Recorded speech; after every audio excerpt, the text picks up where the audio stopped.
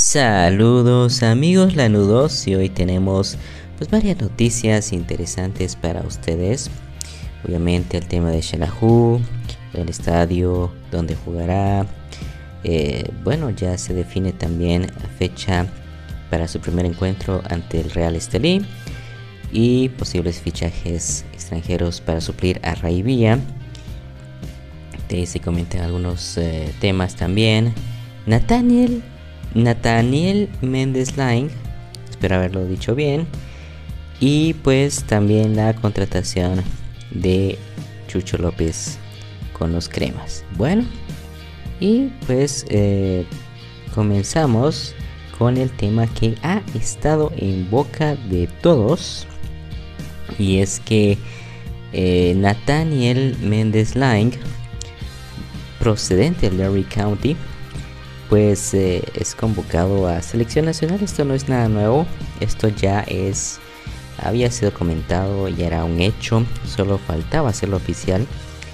Y pues él es un delantero que milita en la tercera división del fútbol inglés, eh, así se llama el conjunto Derby County de la tercera división de Inglaterra. Y pues eh, Nathaniel va a jugar la Copa Oro. Convocado por, por supuesto, Luis Fernando Tena.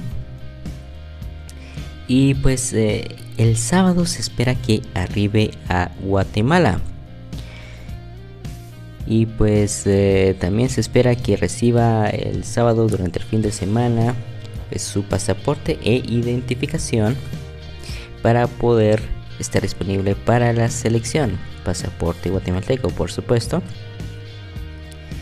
Y de hecho, su historia es de que su abuela y su madre nacieron en Guatemala. Eso es lo que se sabe. Y todos han estado con esta noticia bastante emocionados. Eh, él disputó 51 partidos con el Derby County en la temporada 2022-2023 y marcó 8 goles y pues espera que aporte a la selección. Asimismo se sabe que se va a reunir el lunes con el presidente de la FEDIFUT, Gerardo País. Y pues eh, ya se va a esperar siempre la respuesta positiva de FIFA, pero ya es casi un hecho de que va a jugar con Guatemala. Este delantero guatemalteco eh, británico, por así decirlo.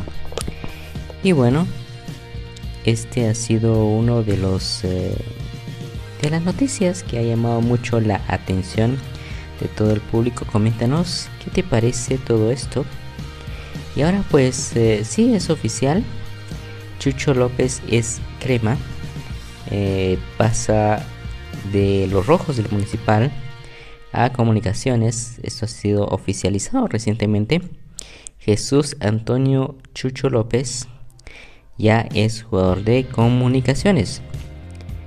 Y pues eh, básicamente mm, ha anotado cuántos, creo que dos goles en esta temporada que estuvo con Municipal, 455 eh, minutos, si no estoy mal, 11 apariciones.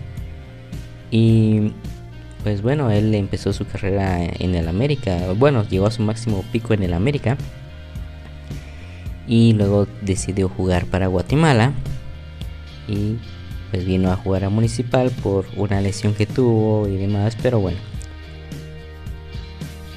Coméntanos qué te parece, qué te parece eh, todo esto. ¿Crees que es una buena contratación para comunicaciones el Chucho López? Y bueno, eso ya lo veremos con el tiempo. No brilló mucho en Municipal, eso sí hay que decirlo pero de repente, ¿no? Y de repente sí logra hacerla en comunicaciones. Dicho sea de paso, los cremas todavía no pueden fichar a Anangonó. Y algunos decían Anangonó para Shela, eso sí sería una sorpresa.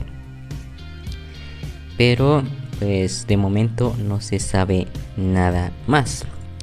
Entrando ya al tema super chivo, pues eh, déjenme decirles de que pues eh, se comenta, se anda eh, rumoreando por ahí de que habría unos nuevos patrocinadores, al menos cuatro nuevos patrocinadores. No sabemos el monto, pero es posible, es posible, y esto solo es un rumor, no se sabe a ciencia cierta de que puedan ser realmente estos patrocinadores top después de que Shelahu logró la sexta luna y pues eso sería algo muy positivo para el club. ¿eh?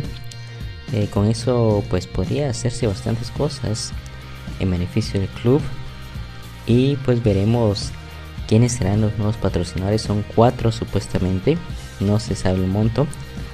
Y pues eh, parece que hay como 24 patrocinadores del club en diferentes escalafones, por así decirlo, el, top. Eh, se divide entre 4 o 5 grupos cada uno. Y bueno, parece que va a ser una buena edición. Aunque no se sabe a ciencia cierta cuánto van a aportar al club. Eso ya es cuestión interna de ellos. Pero nosotros esperaremos que fuera una buena cantidad para mejorar el equipo. Asimismo, en noticias del posible extranjero para suplir a Oscar Raivía, ya que se fue con el Real España, bueno, básicamente se sabe que ya se hizo la depuración de carpetas pues hay tres expedientes. Lo que sí se sabe es que hay un expediente de un jugador mexicano que estuvo en la Liga MX, otro jugador que es centroamericano y otro sudamericano. Diversas fuentes dicen que en el caso del jugador centroamericano sería un tico, otros dicen que es un panameño, y en el caso del jugador sudamericano que sería un colombiano y otros dicen que es un argentino. Y pues bueno, la verdad es que mm, no se ponen de acuerdo, pero sí es una posibilidad de que venga alguien eh, procedente porque se está inclinando más la balanza hacia el jugador mexicano. Eso es lo que se sabe de diversas fuentes. Y pues básicamente eso podría ser que tengamos, eh, no sé, tal vez otro Ray Villa aquí en Shela. Eso sería pues bastante positivo. Asimismo, pues ya se sabe la fecha en la que va a jugar el Mario Campo Seco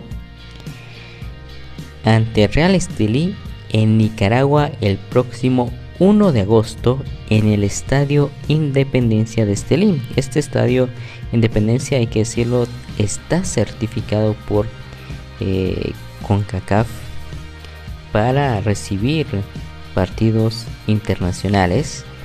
Tiene capacidad para 5.000 personas. Fue renovado y equipado con césped sintético para que Real Estelí lo utilice en sus partidos de local ante la fase de grupos de la Liga, eh, bueno, de la CONCACAF de, de la Copa Centroamericana.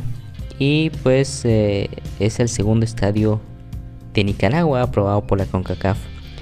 Pero, hay que decirlo, está bastante lejos del aeropuerto y ahí sí no, no vemos que pese esa reglamentación sobre el aeropuerto que dicho sea paso pasamos al tema del aeropuerto ya que pues básicamente sería un hecho de que Shelajumara Composico va a jugar en el Doroteo Guamuch Flores y pues no en el pensativo como se pensaba, aunque esto a confirmar, pero es casi un hecho de que se va a jugar en el Estadio Nacional Doroteo Guamuch Flores por el tema del aeropuerto. Asimismo, el Xelajú debe hacerle las respectivas renovaciones al Estadio Maracamposico, independientemente de que juegue o no en este torneo internacional en dicho estadio. Y se sabe de que se podría tener el aeropuerto internacional de Quetzaltenango ya internacionalizado, supuestamente, pues ya en agosto, supuestamente, pero no se sabe a ciencia cierta si se hacen las renovaciones a estas dos instalaciones de aeropuerto. Y Estadio Mario Composico es posible y si el Shelahu pasa a siguiente fase de Conca Champions, pues bueno, podría jugar en casa. Pero ¿qué te parece todo esto? Y bueno, lo positivo es de que los jugadores chivos estarán de descanso. Eh, mientras tanto, con la pretemporada ya iniciarán y no tendrán el ajetreo de la selección nacional que juega con Costa Rica y también contra Venezuela porque según Tena eh, solo convocan a jugadores de trayectoria, no los que están en excelente nivel como los jugadores super chivos. Coméntanos, te video, dale like, comparte. Nos vemos en la próxima. Te equivocaste tema.